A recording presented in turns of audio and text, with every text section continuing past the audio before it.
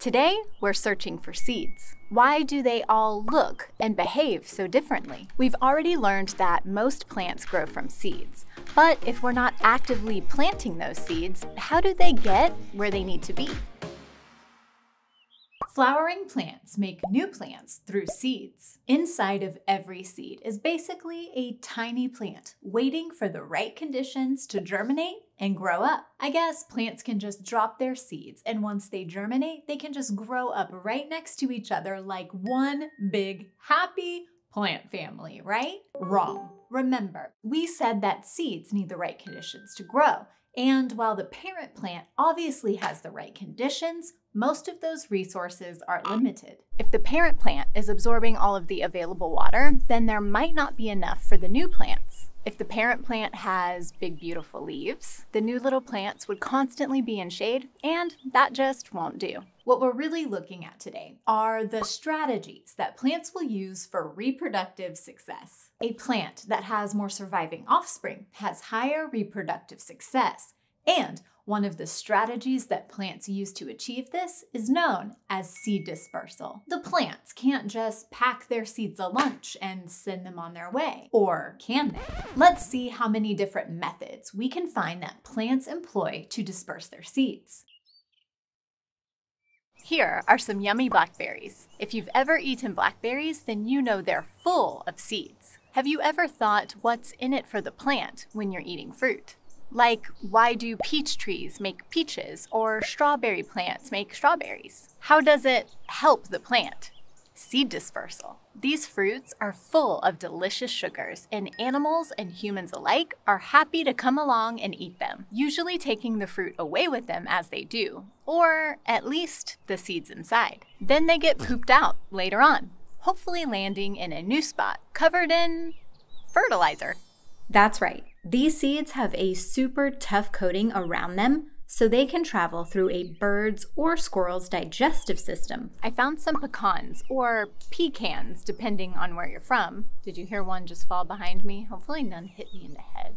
These are also a yummy snack for our squirrel friend we mentioned earlier. Have you ever seen a squirrel burying one of these or maybe some acorns? How many do you think they remember to come back to? Not all of them. The squirrel is essentially scurrying around planting pecan or oak trees.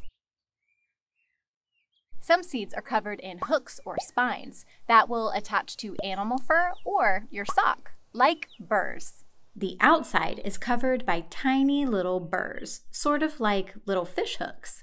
And when an unsuspecting hiker or animal walks by, the seeds grab on and can travel as far as you're willing to take them. The seeds of a burdock plant have tiny interlocking hooks that are excellent at sticking to almost anything and inspired scientists to create a man made version known as Velcro. These acorns employ another method gravity, or the drop and roll method. See these caps on top? When the acorn falls from the tree, it usually lands on the cap and pops loose and eventually uses its smooth sides to roll away from the parent plant.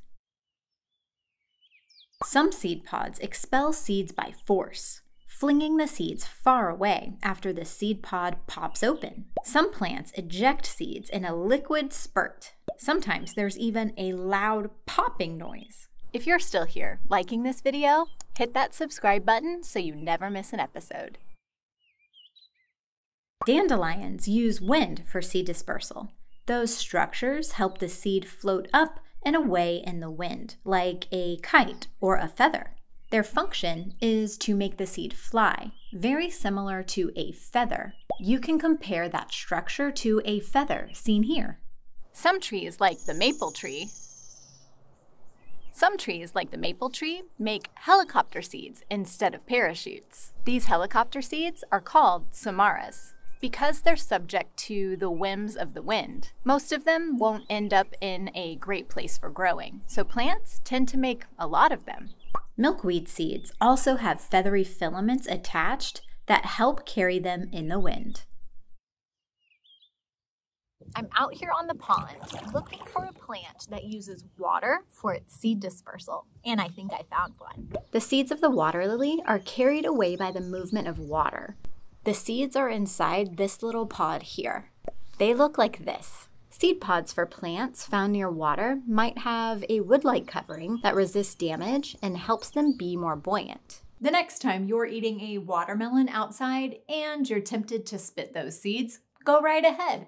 The watermelon will thank you for taking part in seed dispersal. And if you want to learn more science, you can check out this video next.